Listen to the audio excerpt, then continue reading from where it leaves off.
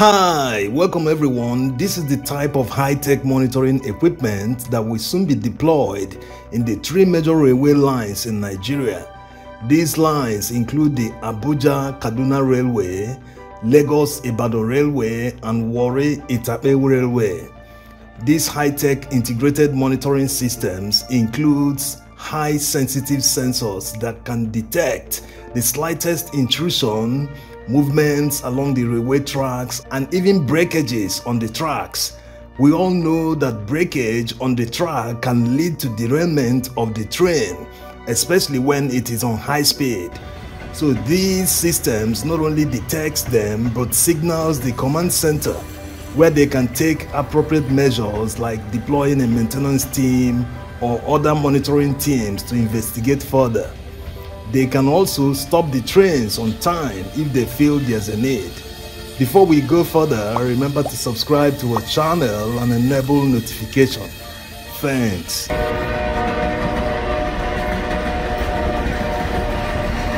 These high-tech railway monitoring systems are in use in many railway networks abroad.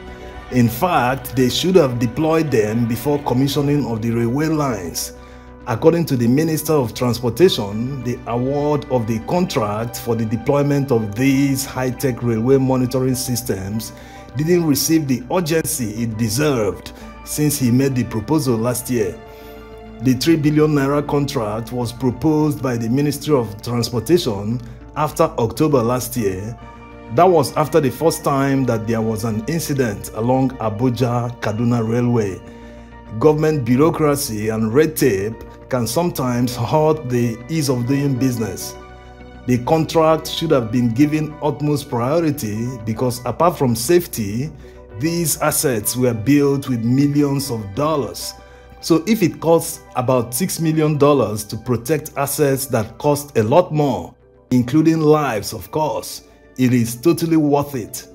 But all hope is not lost as they will now be deployed on or before July this year when the first incident happened along the Abuja Kaduna Railway, they should have taken the monitoring of the railway lines seriously. It's a pity that it took until now that some people have been affected, some are even still missing, for them to take the issue seriously. Working alongside the high-tech integrated monitoring systems are drones and helicopters. As a matter of fact, the police just took delivery of high endurance drones from France. The manufacturer equally came to Nigeria to train personnel that will use them.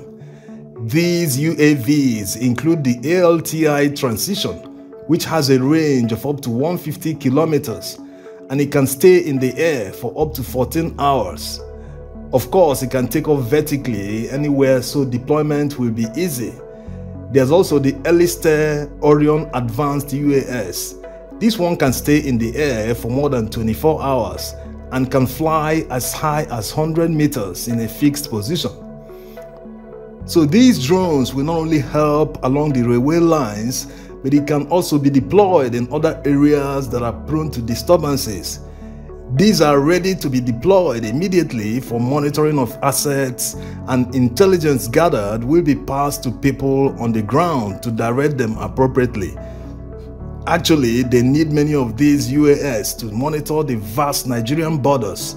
The customs will definitely purchase them when they see the benefits of these drones. That's if they don't have them already.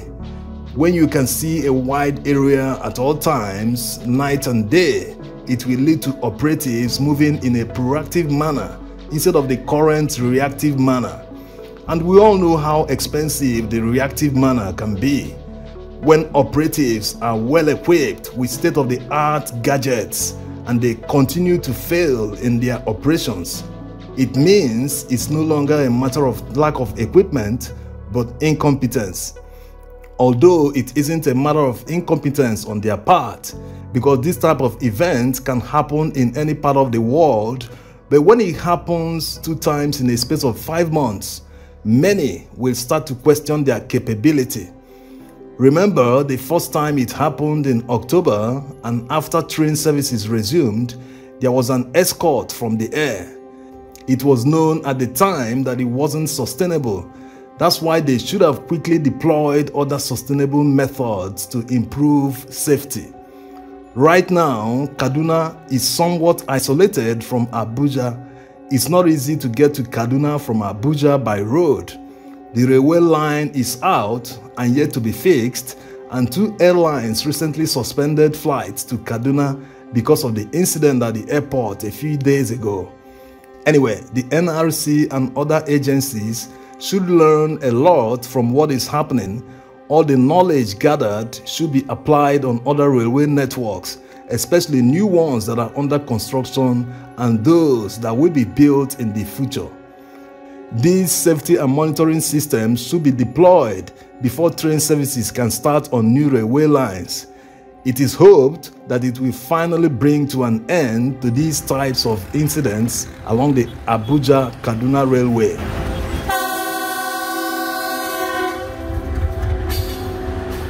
When people ride on trains, they have utmost confidence in the safety that the trains provide, unlike road transport.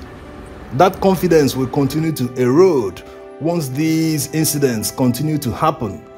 The NRC needs to cultivate confidence in passengers so that ridership can improve, thereby making them more money According to the Minister of Transportation, the Abuja Kaduna Railway makes on average 300 million naira per month. The management should be working on how to grow the service and possibly double the earnings because they need that money to repay loans that were taken to construct the railway infrastructure. The Abuja Kaduna Railway and Lagos Ibadan Railway were partly financed by the Chinese. The Warri Itakpe Railway was 100% financed by the Nigerian government. So NRC needs the train service to be running all the time, including at night if there are passengers, so they can repay these loans quickly. Yes, a lot of people don't want the trains to be running at night because of safety. But if there is reasonable safety, because safety can be guaranteed 100%, the trains should run the economy shouldn't grind to a halt because of disturbances, and there's so much money to be made. And not forgetting the fact that this is the main advantage of trains. They have a dedicated track, they don't experience traffic. They should definitely be running services even if it's midnight, unless there aren't passengers, you know. On the other hand, not many people will like to drive on the highway by midnight. Our society should never give in to problems that are surmountable. Rather, we should find solutions to them. The good guys should always win the bad guys, you know. Also, in the early stages, when getting to Kaduna from Abuja by road started getting difficult, many people started riding the trains because of safety. But there's now a question mark on that safety because of recent events all agencies should work together to restore confidence of riders and improve safety. Concerning the recent incident in Kaduna, kudos to the operatives that arrived there on time to help people. They did a very good job. But they should take up all the leads they have and pursue them to the logical conclusion. They should make use of all the high-tech equipment that is available to Nigerian security agencies right now to bring this to an end. Since the launch of the Waterways Protection Infrastructure Project, otherwise known as the Deep Blue Project, Nigeria has taken delivery of more high-tech and advanced equipment. There's also the Geospatial Intelligence Data Center and the Falcon Eye Monitoring Center they should leverage all these infrastructure to put stories like this to an end.